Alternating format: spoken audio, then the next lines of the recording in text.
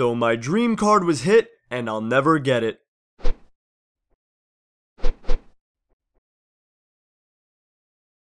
What's up everyone? I hope you're all having a great day. So this video is about my dream card being pulled. Yes, it was officially pulled, and at the moment, this is the one that got away, the elusive card that everyone wishes they had in their collection, but you just know you will never get it. For all of you who know me and watch my videos, you know I'm a Noah Syndergaard super collector, and you know one type of card that I want more than anything is a Logo Man card. I think the Logo Man patches are by far the coolest patch there is, even though I can go out and buy a jersey, cut up the logo man on it, and essentially have the same thing, but on a baseball card with actual game worn memorabilia, it's awesome. So the other day I was doing some work and my phone starts blowing up. 14 tags on Instagram, 5 DMs, 3 Facebook messages, my phone is just going berserk. And what do you know? My dream card was pulled by an Instagram user that goes by the name of the Freaky Franchise 55. This guy has an absolutely absurd card collection and is a super collector himself of Tim Lincecum. Now before I continue the story, I wanted to quickly say do not go to this guy's page and flame him or be rude to him. That's not what I'm about or anyone else should be about. I'm just personally upset because I wasn't able to get this card and he did some things that I wouldn't have done as someone in this hobby, but by no means does that mean to go and be disrespectful towards him on my behalf. I actually recommend that you follow him if you enjoy high-end cards and insane collections. Now, anyways, my phone blew up and I was tagged in a card that he pulled, which happens to be a Noah Syndergaard 1 of 1 Logo Man card from 2016 Topps Dynasty. Not only was it that, but if you follow my Instagram page, you know I collect a certain photo variation of Syndergaard from 2016 Topps Dynasty, and it was the same photo variation that I needed to complete the rainbow for that set. Also, on top of that, it wasn't a regular Logo Man, it was a Logo Man from his Memorial Day game jersey, which had stars and stripes on it. It was just a nasty card. I actually would have preferred it to be a regular Logo Man, because then maybe I would have gotten it, and I actually really love the look of the regular red, white, and blue Logo Man, but in general, it was just a perfect card, and easily my dream card.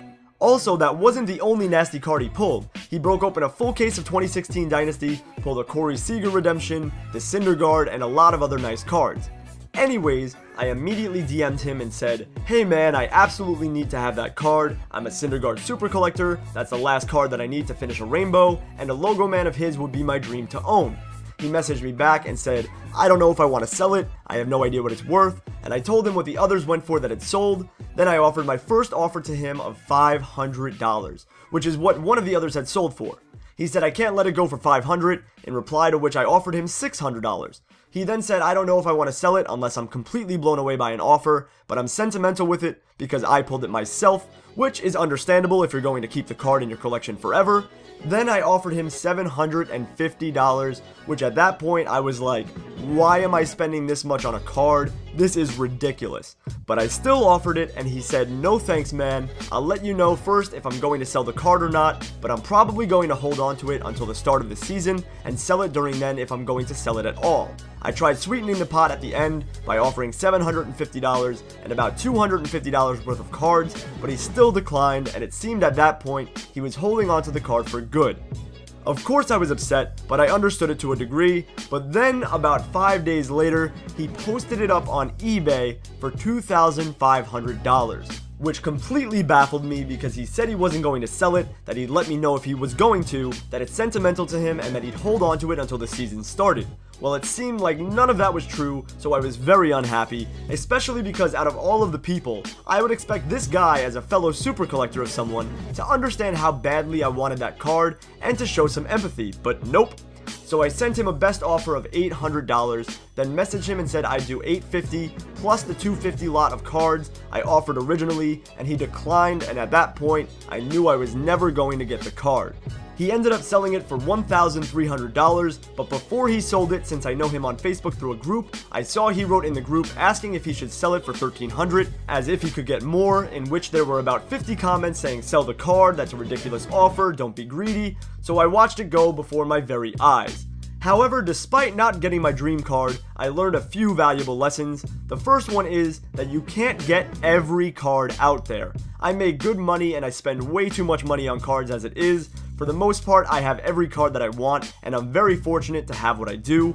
I just couldn't bring myself to spending over $1,000 for a card, or any card for that matter, and I didn't even want to pay the ridiculous $850 offer that I made. Another lesson that I learned was that there are some people in this hobby that really don't care about your collection. They just want to maximize profits. You should never feed into those people. Don't pay over something you're comfortable with just because someone is being greedy. Just chalk it up to a loss and take that loss like a man. There are other cards out there.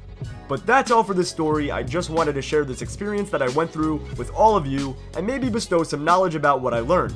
I'm constantly learning in this hobby, and that's always a good thing.